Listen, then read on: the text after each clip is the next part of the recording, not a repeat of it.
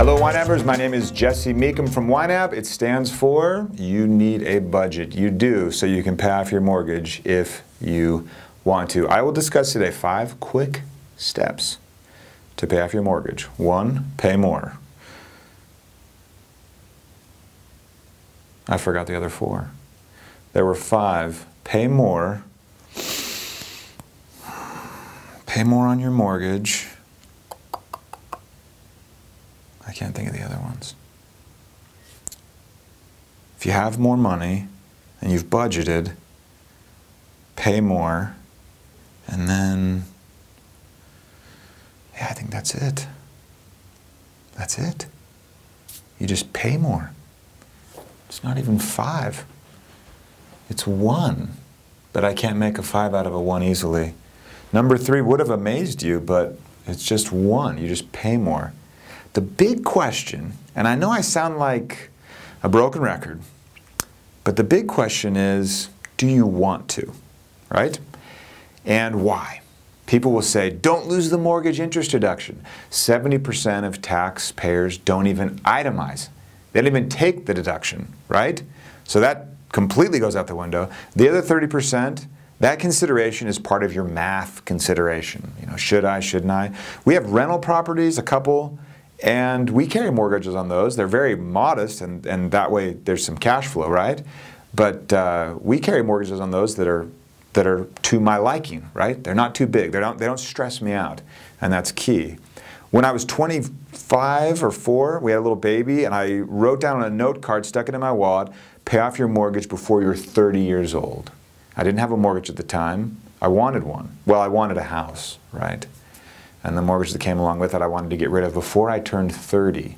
We bought a house in 2008, middle of 2008, and close to the end of 2010, which is right toward the cutoff, I paid it off. We finally did it. Now, it took a lot of intensity. The house was pretty empty. We didn't buy furniture uh, really at all, and it, the house, house kind of echoed quite a bit. Um, it would, it, people thought it was strange. Um, but we paid it off. It was a big goal of mine and Julie's to pay off the mortgage. It may not be a big goal for you. One of our YNAB team members, she's working on paying off her mortgage. She's excited about it. It's a big deal. She's looking forward to the freed up cash flow. It, it is, it's awesome. I've lived that. Now, on the flip side, I bought the YNAB house and I basically took out a mortgage uh, for that instead, so I'm back into mortgage territory, although the mortgage is a lot smaller, so it's nice. But, again, what do you want? So I know you're getting tired of me coming out here every Wednesday saying, oh, uh, if you want, do this, if you want, do that, if you want, do this. Listen, I, I can't give you prescriptions. I can only prescribe one thing. One, budget as frequently as needed, no less than monthly. Number two, if you're sharing your finances, make sure you're talking about it, budgeting together. Number three, raise your awareness levels by recording what you spend on your phone when you spend it.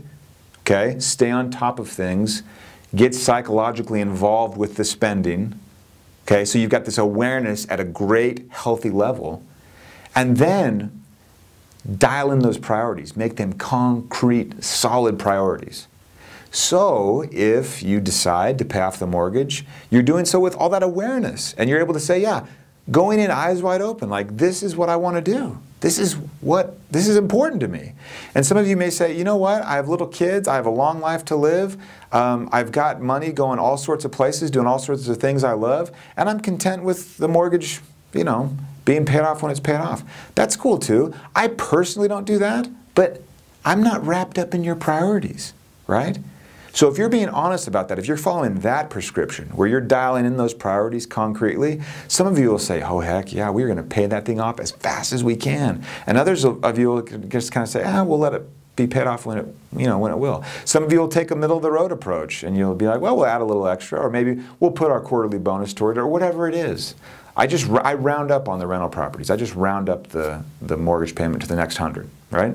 And that's just one way of me kind of throwing a bone toward the idea of having those properties eventually mortgage free.